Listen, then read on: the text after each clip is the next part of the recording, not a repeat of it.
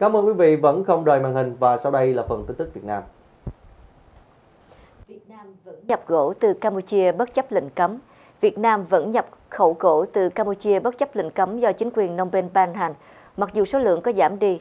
Thông tin vừa nêu được tờ Cambodia Daily loan đi vào ngày 24 tháng 7, dẫn lại thống kê từ Hải quan Cộng sản Việt Nam. Theo đó, trong tháng 5 2017, Việt Nam nhập từ Campuchia 28.000 mét khối gỗ tròn và gỗ xẻ, trị giá tổng cộng 15 triệu đô la. Số gỗ Campuchia xuất qua Việt Nam có giảm đi so với số liệu trung bình trong 3 tháng đầu năm là 32 triệu đô la mỗi tháng. Vào tháng Giêng năm ngoái, chính quyền Phnom Penh đã chính thức cấm xuất khẩu gỗ sang Việt Nam. Nhưng theo một số nhà quan sát thì lệnh cấm này không có hiệu quả trên thực tế. Và mới cách đây 2 tháng, một tổ chức phi chính phủ trụ sở tại Anh Quốc tên gọi là Cơ quan Điều tra Môi trường EAA cho rằng các quan chức ở tỉnh Rattakakiri thuộc miền đông của Campuchia nhận hối lộ từ các công ty Việt Nam để nhắm mắt làm ngơ cho gỗ xuất lậu sang Việt Nam. Chính quyền Campuchia cho biết là đang điều tra các cáo buộc vừa nêu, thưa quý vị. Bão số 4 chuẩn bị đổ bộ vào vùng Bắc Trung Bộ của Việt Nam. Trung tâm Dự báo Khí tượng Thủy văn Cộng sản cho biết, vào lúc 16 giờ chiều ngày 24 tháng 7, tâm bão số 4 cách đảo Hải Nam, Trung Quốc khoảng 140 km về phía nam đông nam. Sức gió mạnh nhất ở vùng gần tâm bão mạnh cấp 8, tức là từ 60 đến 75 km một giờ, giật cấp 9 và cấp 10. Trong sáng ngày 24 tháng 7, cơn bão số 4 chỉ di chuyển với tốc độ từ 5 tới 10 km một giờ, nhưng đến chiều cùng ngày đã tăng tốc, mỗi giờ đi được 15 km. Dự báo trong 24 giờ tới, bão di chuyển theo hướng Tây Bắc và giữ nguyên cường độ. Đến 16 giờ cùng ngày 25 tháng 7, tâm bão cách đất liền từ các tỉnh Nghệ An đến Quảng Bình khoảng 130 km về phía đông. Do ảnh hưởng của bão, trong 24 giờ tới, vùng nguy hiểm có gió mạnh cấp 6 trở lên, biển động được xác định là từ vĩ tuyến 16,5 cho đến 20 độ vĩ Bắc, phía Tây kinh tuyến 113 độ.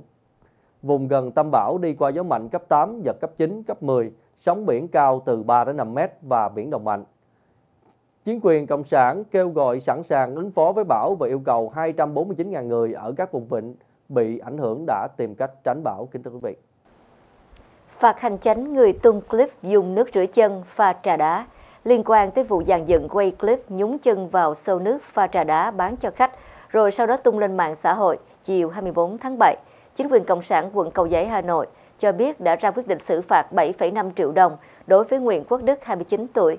Nguyễn Quốc Đức là chủ một tiệm tóc nằm trên đường Cầu Giấy. Đức là người chủ mưu dàn dựng quay cảnh một cô gái nhúng bàn chân phải vào sâu nước pha trà, đã bán cho khách, sau đó tung lên mạng xã hội Facebook. Chính quyền Cộng sản quận Cầu Giấy cho biết hành vi quay và đưa clip sai sự thật kể trên lên mạng xã hội của Nguyễn Quốc Đức đã xúc phạm nhân phẩm người khác. Trước đó, vào ngày 12 tháng 7, trên mạng xã hội Facebook lan truyền đoạn clip ghi lại hình ảnh một cô gái trẻ cho chân vào sâu nước rửa, sau đó lại thẳng nhiên múc nước ra pha trà đá bán cho khách. Đây là quán trà đá của bà Phạm Thị Lại, 52 tuổi. Tuy nhiên, bà Lại không phải là người xuất hiện trong clip dùng nước rửa chân pha trà đá, cũng không biết ai đã quay và tung clip quán trà đá của bà lên mạng xã hội. Công an Cộng sản địa phương đã yêu cầu dẹp bỏ quán trà đá, đồng thời mời những người có liên quan lên trụ sở làm việc. Sau khi xác minh, cô gái trẻ bỏ chân vào xô nước pha trà đá chính là nhân viên của một tiệm tóc gần đó. Tới ngày 14 tháng 7, Nguyễn Quốc Đức tới trụ sở Công an Cộng sản địa phương thừa nhận hành vi của mình, thưa quý vị.